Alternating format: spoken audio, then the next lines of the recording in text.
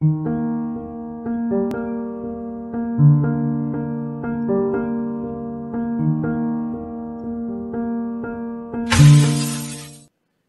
dan i dobrodošli na podcast Jugospora. Ja sam Mirjana Stošić i u ovoj epizodi pročitaću tekst Baškima Šehua koji se bavi metaforama za Balkan. Ovo je druga epizoda čitanja eseja na Jugospori i danas će moj glas udvojiti glas Šehua u rasejanju. Balkan je neposredno vezan za koncept drugde i drugosti i smatram da je tekst veoma značajan za prvi ciklus razgovora koji se tiče upravo ovog koncepta. Naziv teksta glasi Variacije na temu Balkana. Deo prvi. Najpoznatija metafora za Balkan jeste metafora mosta.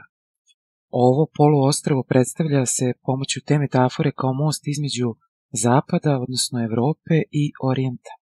Međutim, u meri u kojoj su metafore, zahvaljujući svojoj proteskoj prirodi, u stanju da se poigravaju sa različitim značenjima, odnosno imaju sposobnost da istovremeno ukazuju na razna značenja, ovaj most se može shvatiti i kao situacija preklapanja više balkanskih kultura.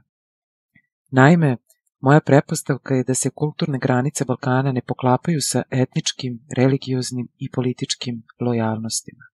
Takva prepostavka podrazumeva da Ako ozbiljno razmatramo kulturnu situaciju Balkana, ne postoji ništa što bi se moglo nazvati duhovnom suštinom neke od tamošnjih zajednica što bi je jasno razgraničavalo od ostalih. Nema kolektivnog duha ili duše ili bilo čega sličnog, osim u obliku kolektivnih psihoza. Toga ima, da, i to u pluralu. Ako uopšte postoje neke linije kulturne podele, one prave podelu na seljake, mlade, međusobno grupisane prema obrazovnom nivou, intelektualci i poslovni svet, pri čemu ovi poslednji postepeno variraju od onih koji su se nedavno obogatili normalnim mukotrpnim radom do mafijaša, dok pretposlednja među gornjim kategorijama pokriva spektar u koji ulazi sve od nadahnutih plemenskih i parohijskih proroka do mračnih kosmopolitskih bastarda. Tako je možda jedina homogena kulturna zajednica ona u kojoj su seljaci čitavog Balkana, koji čine veliku većinu stanovništva. Ali umesto da su jedine, kao što je to jednom davno radnicima svih zemalja savjetovao Marks, oni su ne tako često bili pretvarani u milicije i paramilicije koje se međusobno ubijaju i siluju žene i čerke jedni drugima. Postoji jedna važna kulturna podkategorija koja je već pomenuta, mafijaši sa čitavog Balkana, da oni imaju snažnu tendenciju ujedinjavanja u svojoj multietničkoj solidarnosti protiv svih ostalih. Tu su i mafijaši specijalizovani za rat, ali oni su sasvim posebni. Kao da dolaze sa druge planete na koji se klanja božanstvu rata, tako da kažemo u nedostatku boljeg poređenja.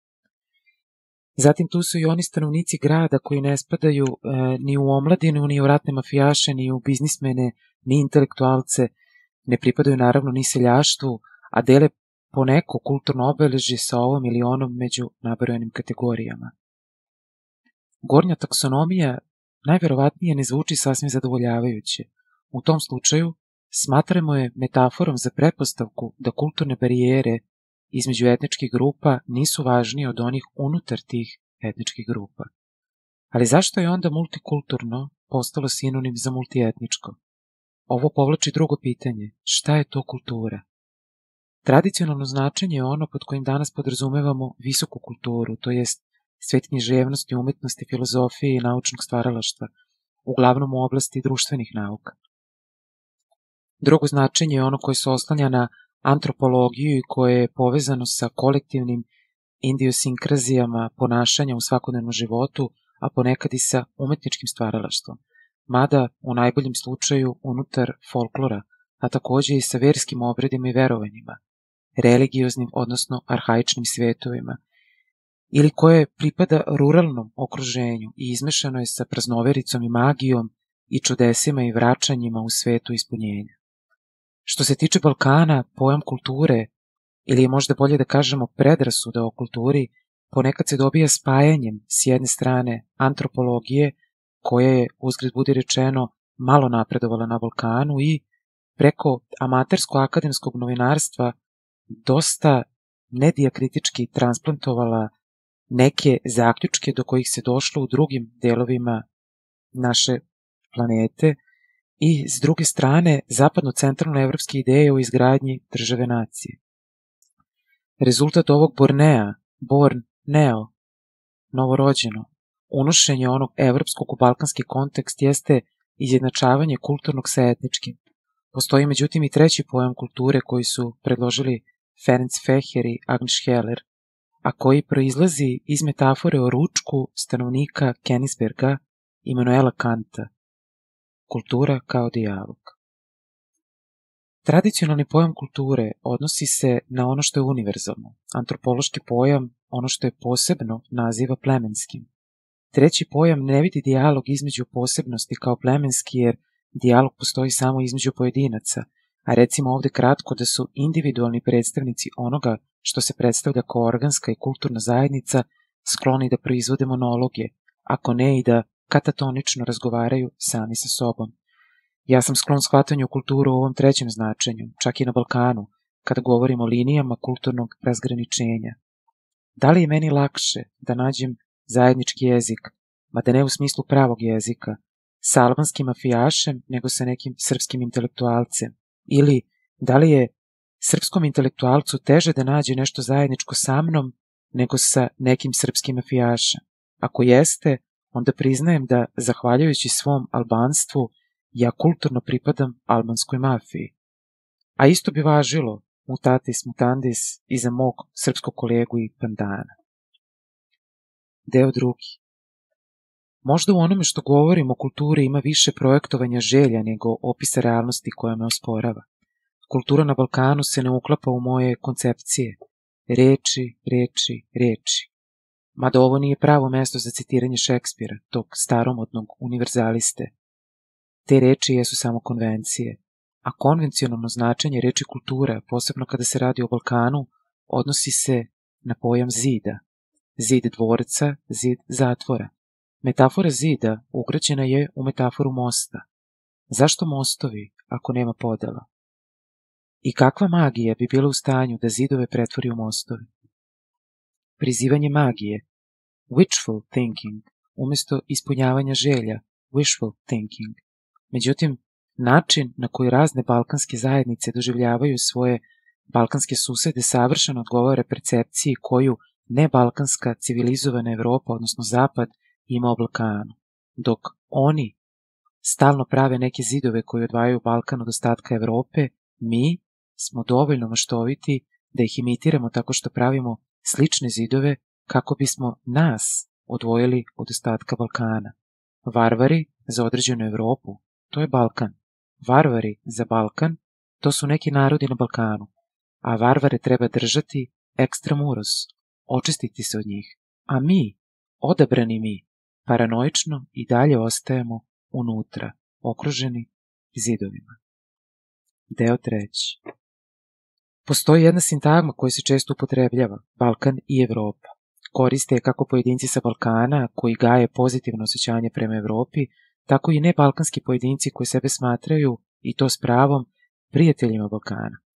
Gornja sintagma, međutim, iako je sasvim uobičajena, podrazumeva da Balkan nije Evropa i obrnuto. Šta više, to podrazumeva i da, ako je Balkan zemlja varvara, Evropa simbolizuje civilizaciju i obrnuto. Ovo liči na jedan drugi govor o Evropi u kojem se ona predstavlja kao suprotnost sobstvenoj istočnoj polovini, postojući tako semantički ekvivalent za zapad, pri čemu i Evropa i zapad imaju još jedno značenje – civilizacija. Tako zid postaje ogledalo. Da parafraziramo metaforičku ideju mađarskog političkog mislioca Elemera Hankisa o Berlinskom zidu. To je ogledalo samo zadovoljstva u kojem se sobstveni lik definiše putem kontrastiranja sa jednim drugačijim likom na drugoj strani zida i ogledala. Međutim, još tačnije zvuči ono što je Marija Todorova pisala o Balkanu, ne kao o građevini drugoga, nego o građevini nekompletnog ja. U tom slučaju Evropa ili Zapad nije više Snežana iz bajke koja se divi sobstvenoj lepoti gledajući se ogledalu, već persona dramatika iz Šekspirovog komada, Ne razumem zašto mi ovaj staromodni univerzalista stalno dolazi u misli. To jest Kaliban koji odbija da se pogleda u ogledalo. Ali kad smo već kod Šekspira i budući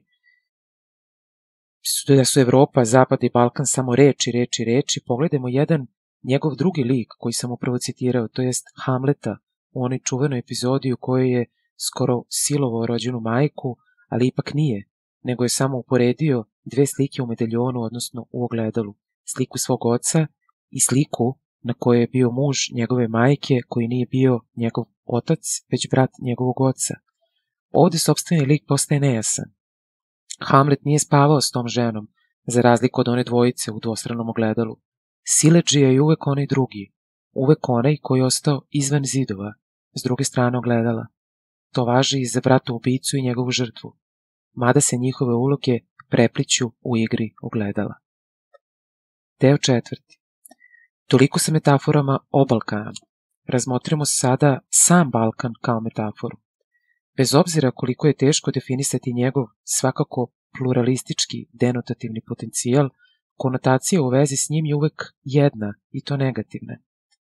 Ima na Balkanu i u vezi sa Balkanom onih koji kritikuju preovlađujuću zapadnu retoriku o nama i istovremeno implicitno ili eksplicitno i zapadni stav prema nama, odnosno bolje reći protiv nas. Do sada sam davao reč takvom balkanskom govoru o Balkanu. Dozvolite da sada stvar preokrenem. Zapadni govor o Balkanu postaje verodostojan samom činjenicom da ga mi odbacujemo. Sama po sebi ili praćena tek manjim izmenama, balkanska kritika zapadnog govora izgleda da postaje daleko opasnija za Balkan od samog tog zapadnog govora i njen utjecaj postaje mnogo štetniji za ljude u regionu, pošto nas gura u poziciju žrtve i istim putem navodi da zauzmemo stav koji je protiv zapada. Mi smo već više nego dobro, samo suviše kasno, videli posljedice takvog antizapadnog nacionalizma koji je, na primjer, Danilo Kiš okvalifikovao pre mnogo godina kao pakt između Kominterne i Dostojevskog. Neka mi bude dopušteno da se u ovom kontekstu osvrnem na slovenačkog filozofa Slavoja Žižeka. Po njemu, na zapadu postoje simpatije za Balkan kada su njegovi ljudi žrtve, kao u slučaju albanskih izbjeglica sa Kosova, one jadne dece, žena i staraca, čije su se lice i suze mogli videti na svim TV ekranima. Ali u trenutku kada kosovski albanci reaguju uzimanjem oružja u ruke i borbom, nastavlja Žižek, oni u očima zapada odmah postaju teroristi, narkomafija i slično. Žižekov zaključak je da ako pojedinci na Balkanu pokušaju da se ponašaju kao subjekti, a ne samo kao objekti ekstremnog nasilja, Zapad ih odbacuje. Ima istinu u ovom zaključku, ali moje pitanje je kako možemo mi, pojedinci sa Balkana, da se ponašamo kao subjekti, a da druge pojedince na Balkanu ne pretvorimo u objekte ekstremnog nasilja.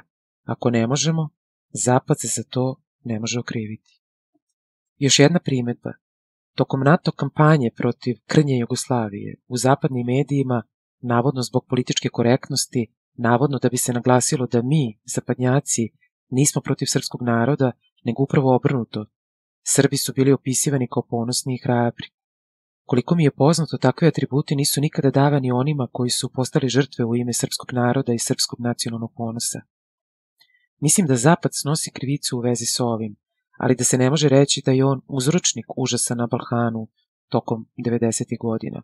Okrivljujem ga umesto toga zbog izvesne, nepriznate fascinacije brutalnošću i surovošću, uživljavanja bez saosećanja, koje je proizašlo iz percepcije, možda sublimirane, sličnosti sa ne tako davnom prošlošću civilizovanog zapada. Ali slika postaje još komplikovanija kada shvatimo da su Srbi bili više opaženi kao žrtve u periodu tokom kojeg su Albanci bili žrtve etničkog čišćenja na Kosovu, nego kasnije, kada su postali izbjeglice sa Kosova, nemilosrdno terani albanskom osvetom.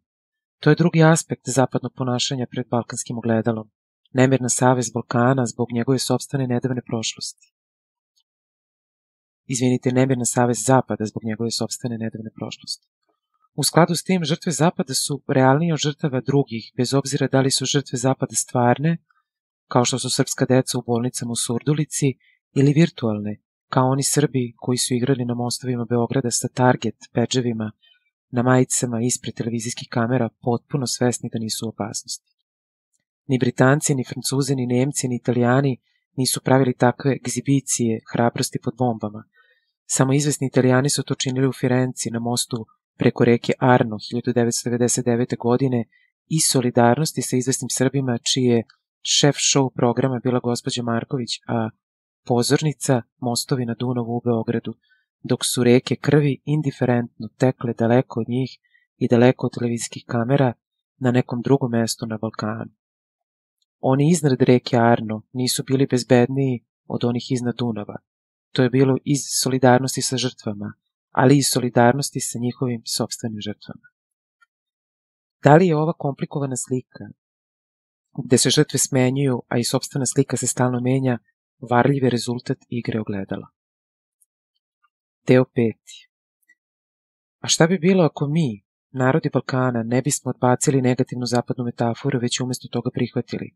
Očigledno, to bi značilo da bismo ostali na istom mestu posmatrajući kako zapadni govor o Balkanu ponovo postaje proročanstvo koje se samo od sebe ispunjava.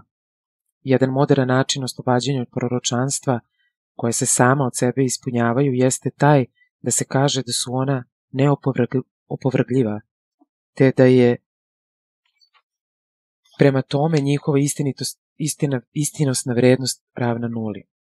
Ali to je suviše pomodno. Ja bih se u ovom slučaju osvrnuo na jedan događaj iz života koji je na izvestan način povezan sa psihopatologijom svakodnevnog života, koju je dobri stari Freud u svom istoimenom radu opisao kao omašku ili quid pro quo. On omašku definiše kao psihopatološku pojavu kojom potisnuta istina putem govora izbija na površinu, ali omaška se može dogoditi i u štampi, možda zahvaljujući nekom mehaničkom ili elektronskom nedostatku ili ne znam čemu, kao u događaju koji ću sada pomenuti. Za vreme debate o Balkanu u Berlinu, odmah posle rata na Kosovu, jedan nemački list mi je pripisao reči jednog drugog učesnika, sveštenika iz Crne Gore, ili je to bilo obrnuto. Možda je mojim imenom nazvao sveštenika iz Crne Gore dok je citirao njegove reči. On je rekao, i citiram po sećanju, umesto da pitam zašto nam oni to rade, treba da pitam šta ja moram da uradim. To su bile njegove reči koje su zbog omaške pripisane meni. Prihvatam ih u potpunosti. Pre nego što pokušam da odgovorim na njegovo pitanje koje je, i to ne samo slučajno i moje pitanje, a mislim i pitanje mnogih, mada je potisnuto ovim prvim pitanjem, dozvolite mi da pokušam u nekoj vrsti parenteze da se vinem do zvezda. Ne zbog istraživanja u vezi sa ratom zvezda ili nečim sličnim, nego zbog kratke teorijske parenteze koja neizbežno sadrži neke spekulacije koje sa svoje strane etimološki proizlaze iz iskustva vavilonskih astrologa koji su posmatrali zvezde preko gledala kako bi bolje razumeli zemaljske stvari. Sada ću izneti teoriju o odnosu pojma metafore sa, da tako kažem, susednim pojmovima, što će, nadam se, doprineti razumevanju odnosa između susednih nacija. Deo šesti. Prvo, mit. Mit ima veze sa metaforom u tom smislu što je mit priča sa metaforičkom strukturom, mada se uzima bukvalno kao realna priča, posebno kada se radi o istorijatu ili zasnivanju zajednice. U tom slučaju mitska priča postaje istorija. Sve nacije, na Balkanu ili drugde, imaju ili su nekad imale svoje sobstvene istorijske mitove, ili mitove o herojstvu, ili mitove o žrtvama, ili i jedne i druge. Problem nastaje kada jedni mitovi počnu da se koriste protiv drugih, onda se oni pojavljuju kao različite verzije iste priče, pretvorene u istoriju, protivrečeći jedna drugoj uprkos njihovoj pseudonaučnosti i nastojanjima da se drugi i ostatak univerzuma ubede da je naš, a ne njihov mit u stvari istinit, da je to istorija, i gde konačni rezultat može biti taj da se borba između mitoloških verzija preobrati u borbu između naroda, tako da metaforički konflikt postaje pravi. Možda je ovo što govorim već svima poznato, ali loša stvar je ta što imamo tendenciju zaboravljanja tih stvari koje su možda svima poznate. I tako postajemo nesvesni da su se mitske žrtve pretvorile u stvarne agresore i da su heroji, po rečima španskog paskijskog filozofa Fernanda Savatera, samo čudovišta sa naše strane, odnosno da su čudovišta samo izvitopereni heroji. Drugi pojam povezan ali istovremeno i suprotan pojmu iz metaforičke priče jeste pojam alegorije. Oba su priče koje ne treba shvatati doslovno jer one ukazuju na nešto drugo, na nešto iza ili nešto iznad. Prema Umbertu Eku, u kontekstu istorije kulture, prelaz sa alegorijskog simbolizma na metaforički simbolizam nastupio je negde s kraja 18. veka, uporedu sa romantizmom u književnosti. Ovde se može primetiti razlika ili kontrast između alegorije i metafore. Sa romantizmom, onako kako ga je artikulisao ili anticipirao Gete u svojim razmišljanjima o prirodi umetnosti, počinje proces u kojem umetnost gubi svoj sakralni karakter, ali istovremeno sama po sebi postaje religija. Ono što je s one strane metaforičke priče ne sadrži ni jednu drugu realnost osim same metafore. Odatle potiče njena univerzalna vrednost, jer postoji beskreno mnogo načina na koji se ona može shvatiti kao potencijalno ogledalo koje može svako koristiti. Alegorija, naprotiv, sadrži moralnu zapovest, samo jednu i to kategoričnu. Otuda njena univerzalna vrednost, jer etika može postojati samo u okruženju u kojem postoje univerzalne sankcije. Ja bih predložio alegorijsko čitanje jedne stare albanske legende koja je zasnovana na mitu o početku, o temeljima, doslovno par excellence. U toj srednjovjekovnoj legendi trebalo je sagraditi dvorac, ali zidovi nikako da budu završeni. Stalno su se rušili, gradili i ponovo padali, dok jedan zidarski majstor nije kao materijal u zidu gradio svoju ženu i novorođeno dete, tek tako, zbog zida. U stvari, prema legendi, postojala su tri zidarska majstora, tri brata. Kad su shvatili kakvu vrstu žrtve je potrebno napraviti, dogovorili su se da će u zid biti ugrađena ona žena, odnosno snaja, koji će narednog dana slučajno pasti u dužnost da im donese hranu i piće. Obećali su da ni jedan od braća neće ispričati svoje ženi ništa o ovome, ali su dva brata napravila poseban dogovor kako da prevara onog trećeg, njihovog rođenog brata. Tako je dogovorena prevara, a praktično i ubijstvo. I to između rođene braće, zbog podizanja zidova. Tek tako. Sada mi dozvolite da dodam jednu primetbu. Nadam se da je poruka nedvosmislena kao što alegorijska poruka i treba da bude, ali ne i majstorima u građanju zidova koji bi uvek verovali da je vredno ubijati bespomoćne ljude zbog zidova srednjovekovnog dvorca. Oni nikad ne pomisle da će i na njih doći red jednog dana. Nastavit će da varaju one koji su stvari njihova braća, njihova krv, ako krvna veza ovde još ima neko značenje. Nadam se da je ovoliko dovoljno kao odgovor na pitanje sveštenika iz Crne Gore koji je meni, koji je meni pripisano i to ne sasvim pogrešno. Šta ja treba da uradim? Ipak, želeo bih još nešto da dodam. U ovoj priči o braći, ženama i novorođenoj deci, zidovima je pripala glavna uloga. Uloga koja je najvažnija likovima iz priče, možda svima osim novorođenom detetu. U toj priči zid se ponovo ponaša kao čudesno magično i magijsko gledalo. Veruje se da iza zidova postoji drugi, ali drugi je unutar zidova. U stvari, lik stoji ispred ogledala i, kao neka životinja, veruje da iza ogledala stoji neko drugi. Onaj drugi. Da li smo mi u stanju da to prevaziđemo, da odemo iza ogledala, kao lisa u zemlji čuda? Da li je to ono što mi treba da učinimo u našoj zemlji čuda? Ako ja treba da odgovorim, ovog puta u množini, na pitanje koje mi je pripisano greškom ili slučajno. Verujem da ovaj odgovor na moje sobstveno pitanje nije razgovor sa samim sobom. Verujem da ovo što sam napisao nije ogledalo i da ja svoj lik prepoznajem u liku drugoga. Otvoren navod. Tako sad vidimo kao kroz staklo u zagonetki, a onda ćemo licem u licu. Zatvoren navod, Biblija, Novi Zavet, prva poslanica Korinćani.